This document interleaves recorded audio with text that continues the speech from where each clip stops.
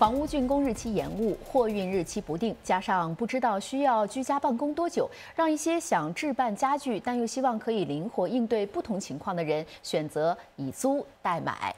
受访的业者表示呢，近来租赁需求增加了近一半，其中有不少是年轻夫妇。来看记者蔡可涵的报道。这整个仓库里的家具都是准备租出去的，有人租回去使用三到六个月，也有长达一两年的租约。这间家具公司表示，有顾客从海外购买家具，但因疫情延误无法按时送达；也有公司为了防疫，另外租下办公空间以隔开职员，因此暂时需要额外的家具。业者指出，近来多了三到五成的顾客。建筑还有呃装修开始有一些啊延期，所以他们变成暂时搬不了新家啊，就开始在外面租屋子，所以他们就呃需要一些家具。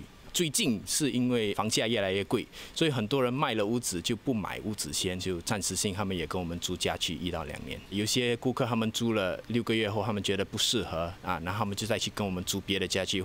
这间家具公司除了售卖家具，也提供短期和长期租借服务。业者表示，疫情前大部分的顾客是外派人员，如今有越来越多本地人为了打造舒适的居家办公环境而找上门。people are a little bit more careful, so it's not again, it's not as quick. You know, it's not like okay, I see it, I'll buy it right away. It's been a little bit more okay. Well, I like the sofa. Let me get back to you. And then you have a couple of young locals who are just newly married and they want the nice things but they don't necessarily want to pay all the money up front so leasing becomes a better option for them 除了餐桌沙发办公桌椅子床褥 双人床也是人们租借的热门产品。